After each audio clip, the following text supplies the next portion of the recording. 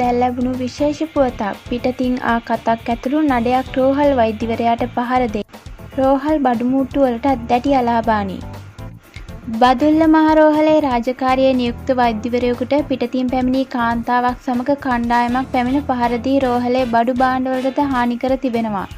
Badulla district සභාපති වෛද්‍ය පාලිත රාජපක්ෂ ප්‍රකාශ කළේ දින කිහිපයකට පෙර රෝහල් වාට්ටුවේ අංක පහළොව වෙත වයස අවුරුදු හැත්තෑවක් වන රෝගියෙකු ඇතුළත් කළ බවත් එම රෝගියා ඊයේ තුන්වෙනිදා රාත්‍රියේදී ජීවිතක්ෂයට පත් වූ බවත් ඉන්පසුව කාන්තාවක් ඇතුළු කණ්ඩායමක් පැමිණ වෛද්‍යවරයාට හා රෝහල් භාණ්ඩවලට හානි කළ බවයි. මේ වන විට පහර කෑ වෛද්‍යවරයා බදුල්ල මහරෝහලේ හදිසි ප්‍රතිකාර අංශයේ ප්‍රතිකාර ලබනවා. සිද්ධිය සම්බන්ධයෙන් බදුල්ල පොලිසිය විශේෂ පොලිස් කණ්ඩායම කිහිපයක්ම යොදා පරීක්ෂණ ආරම්භ කර තිබෙනවා.